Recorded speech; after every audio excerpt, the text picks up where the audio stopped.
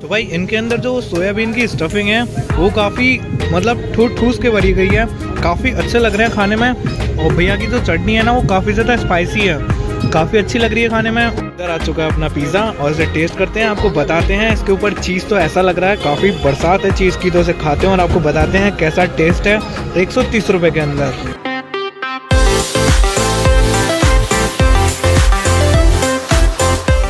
So guys, स्वागत है एक और तड़कते भड़कते ब्लॉग में आपका। तो भाई, आज है मौसम काफ़ी प्यारा और हमें भी इस समय अपनी छत पर और काफ़ी अच्छा मौसम भी हो रहा है। हमने सोचा कुछ रैंडमली दयालबाग जाके फ़ूड ट्राई किया जाए।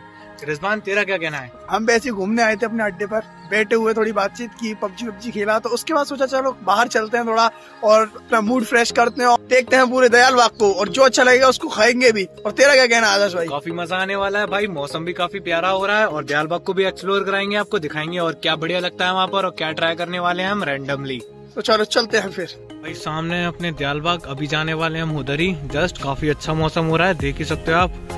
क्या बादल हो रहे हैं? दो तीन दिनों से लगातार बारिश हो रही है भाई। काफ़ी बहुत प्यारा मौसम हो रहा है। तो चलते हैं फटाफट से बिना देरी करके दयालबाग की और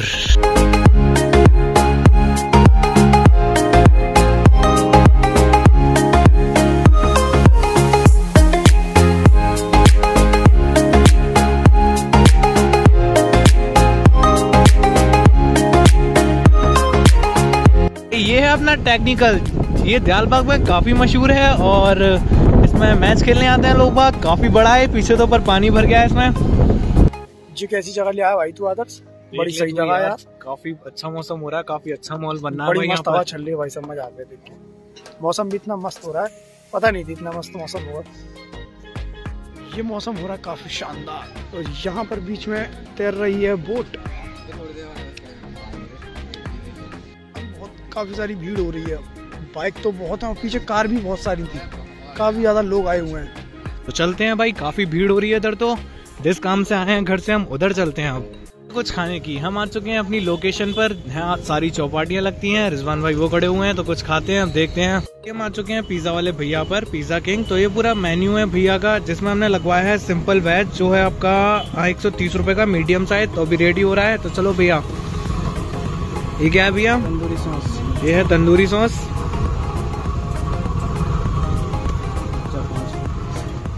और इधर से आएगी अनियन। के ऊपर आ चुका है अनियन और कैप्सिकम, और ये चीज़ आ रहा है इसके ऊपर भर भर कर, जो कि घिस कर डाला जाता है। तो काफ़ी क्वांटिटी में इसके ऊपर चीज़ आ गया भाई। ये अब जाएगा इसके अंदर, तंदूर के अंदर, फिर सिकेगा ये। एक पहले से जो रखा था वो सिक्के आ चुका है। पहले नीचे सेकेगा नीचे सेकने के बाद फिर ऊपर ऊपर से जो उसका बेस नीचे सेकेगा और ऊपर से ऊपर सेकेगा। इधर आ चुका है अपना पिज़्ज़ा और इसे टेस्ट करते हैं आपको बताते हैं इसके ऊपर चीज़ तो ऐसा लग रहा है काफ़ी बरसात है चीज़ की तो इसे खाते हैं और आपको बताते हैं कैसा टेस्ट है एक सौ के अंदर। पिज़्ज़ा को रिजवान भाई टेस्ट कर चुके हैं क्यों कैसा है रिजवान पिज़्ज़ा पिज्जा काफ़ी ज़्यादा ठीक है भाई स्पाइसी भी है और चीज़ भी काफ़ी ज़्यादा अच्छी है। वैसे तो लोकल क्वालिटी की है भाई ठीक है। चल चल कोई बात नहीं खा लेते हैं एक सौ तीस रुपए के अंदर ठीक है। भाई ये है कुछ ऐसा पिज़्ज़ा इसका बेस बहुत ही ज़्यादा क्रंची है और चीज़ भी खिंच नहीं रहा मतलब थोड़ा लो क्वालिटी का चीज़ है। ठीक है। और केचप वेचप डाल के ठीक लग रहा है काफ़ी मतलब पिज़्ज़ा के नाम पे।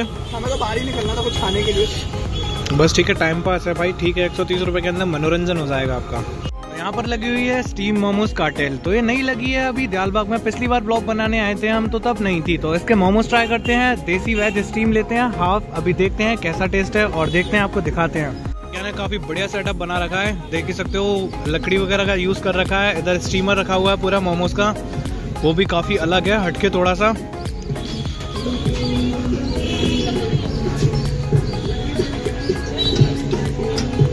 मोमोज भी काफ़ी शानदार लग रहे हैं देखने में।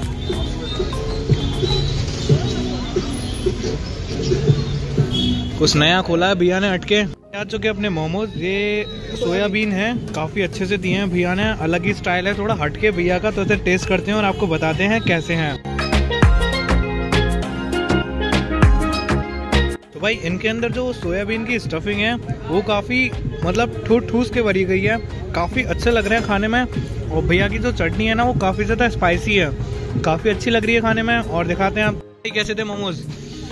मोमो तो बहुत बढ़िया भाई। थोड़ी चटनी स्पाइसी स्पाइसी क्या मोमोज का मतलब ही स्पाइसी है यार तू। चटनी स्पाइसी लोगों ने तो बनाना कम कर दिया मतलब स्पाइसी भैया तो नया ट्रेंड लेके आए हैं नए तरीके से। और काफ़ी शानदार चटनी भी काफ़ी शानदार है मोमोज भी काफ़ी शानदार है। कभी ट्राई करो दयाल का हो तो।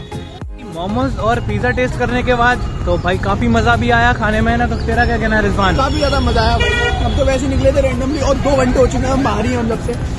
तो भाई, ये था हमारा कुछ थोड़ा छोटा सा फ़ूड का ब्लॉग तो इसे आपको अच्छा लगा हो तो लाइक करना शेयर करना कमेंट करना तो मिलते हैं नेक्स्ट ब्लॉग में।